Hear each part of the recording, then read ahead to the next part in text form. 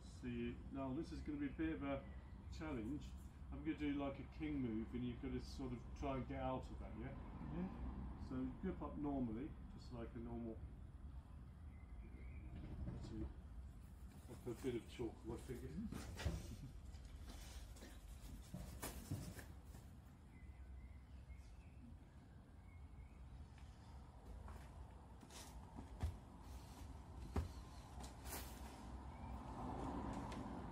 Okay, so whatever you want.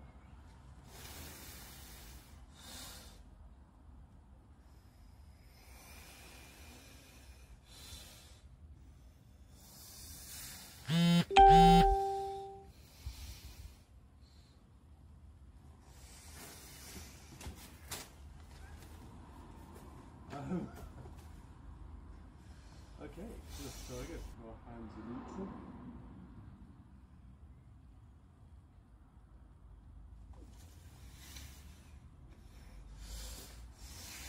That's much better. Good. Very good. That's what happened a week ago. All right. That's what I was trying to do. Well, um, you've got to encourage a bit more sideways movements in order that's better. There you go.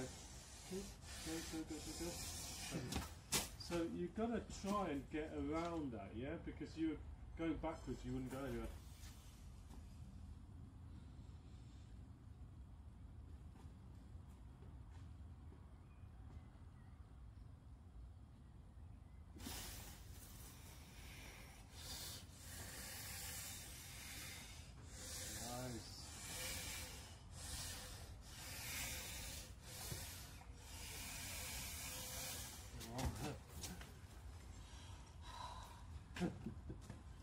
You get strong.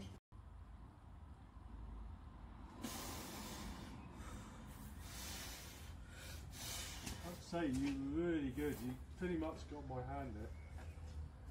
Um, what you could have done was capitalising it by pulling back in that direction off once you got there. So you got so far, but you tend to not look at my hand when you're, or your hand when you're arm wrestling. You, it's good if you can spot the angle on the other guy's hand, so you can pick up an advantage. You know, because I took the advantage of the fact that you stopped in that position, so then I, you know, pulled off that. But if if you stop momentarily, you need to think I've stopped, the other guy's going to take advantage of that, yeah?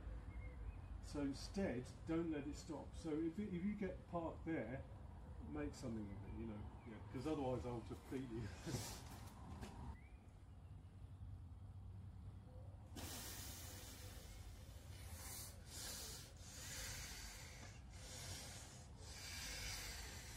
Nice. oh, that's so good. That is so Andrew. That's-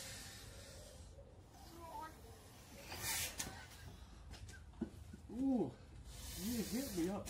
You know what? You were gonna put me in serious trouble, but you then changed your hand position. You know, and I was struggling there. That was really good. It wasn't the dodgy arm. No, no, you just you really got the angle on there. That was great. That was really strong. That was really strong.